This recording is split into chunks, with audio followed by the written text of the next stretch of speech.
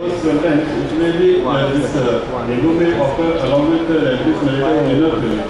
In that case, very negative oxygen may be affect the situation may occur. So one has to keep it that in mind and they use absolute judicial antibiotics.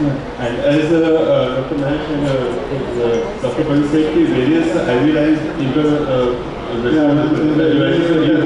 that time if uh, aseptic precautions are being not used, patient may acquire nosocomial infection.